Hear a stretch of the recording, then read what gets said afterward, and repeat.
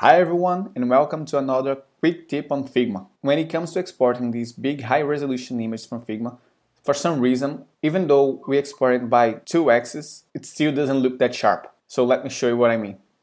So I have this image here that I'm exporting for a mockup or a presentation of this layout. I'll select the, the frame, make it 2x and export the mockup.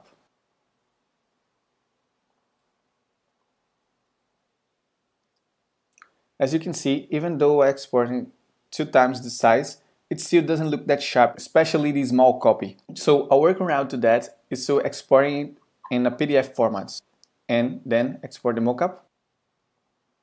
Then what I'll do is open the PDF file and then from the PDF file I will export it in the PNG format.